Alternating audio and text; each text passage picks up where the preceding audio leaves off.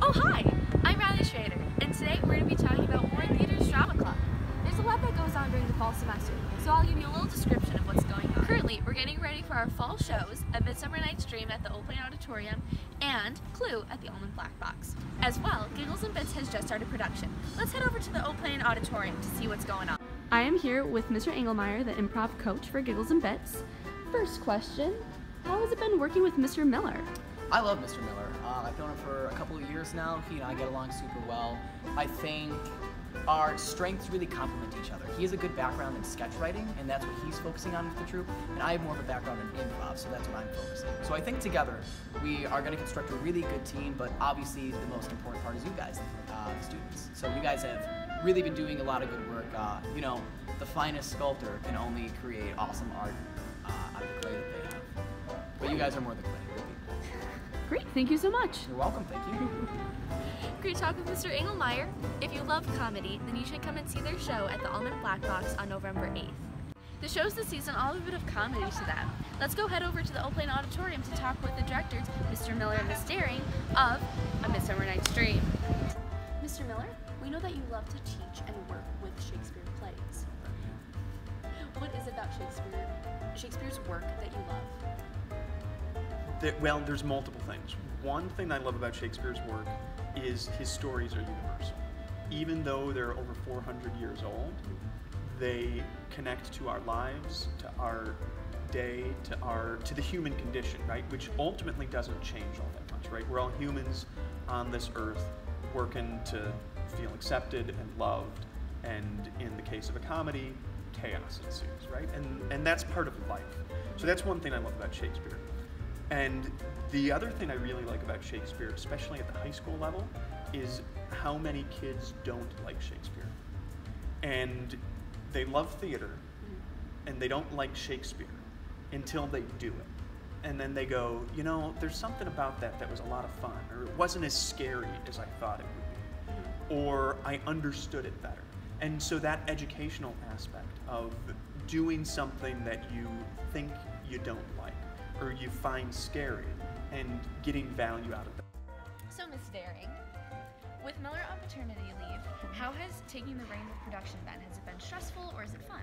It has been fun. I think it really hasn't been that stressful at all, especially with Mr. Miller standing right here.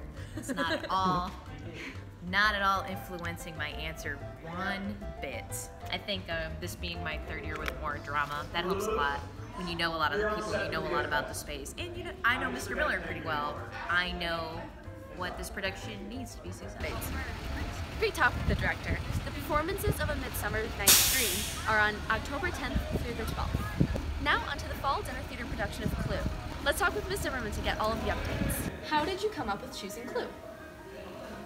Truthfully, um, the play I wanted to do I couldn't get. So I had put out an application to get a different play, which was a farce, because um, I wanted to work on farcical comedy with people. Um, couldn't get that, and finally heard that I couldn't get that, and decided that um, Clue would be a great farce and a great backup to to do Clue. Um, it's campy, it's fun. People seem to love the movie. It has a cult following and uh, it does. It has like this weird cult following. Um, Could you tell us some of the cool Yeah. So um, one thing that we're doing is um, we've partnered with a uh, salvage yard that does architectural salvaging, um, and so they have a bunch of 1930s, 1940s cool. throwback furniture and fixtures that they've gotten from like houses that have been torn down. You know those old houses, and so um, they are giving us stuff to use. Um, so we're suspending windows from the catwalks we're um, using some vintage doors. Uh, we're getting a couple of vintage furniture pieces on loan. Going. Some chandeliers. Great talk with Ms. Zimmerman. Clue show dates are on October 24th through 26th. Now, let's go talk with Brooke Muller, the president of Drama Club, on what she has to say. So, we're here with Brooke Muller, the president of Drama Club. So, Brooke, how do you like being president of Drama Club? I love being president of Drama Club. It's super fun um, because I've been in drama club for all four years of high school, and I remember the presidents like from way when I was like a freshman and a sophomore, even last year. Um, but I was always like super influenced by them, and so I like being able to um, influence the ones that the kids that come the ones the kids that come after me. Yeah. Why did you join drama club in the first place? I joined drama club because I was not a sporty kid, and I had done like outside musicals and stuff for like the different park districts in the area, and I really loved it. I had fun. I loved performing and everything, and I just thought that drama club would be like a really good way to make friends from like all sorts of like places from Illinois, but and like I love to perform and I love to hang out with my friends, and that's really what drama club is. So, Okay, thank you so much. of course, thank you. And there you have it, Warren Theater's Drama Club. If you're interested, please check out the d121.org Drama Club page, or check out the warrentheater.net page.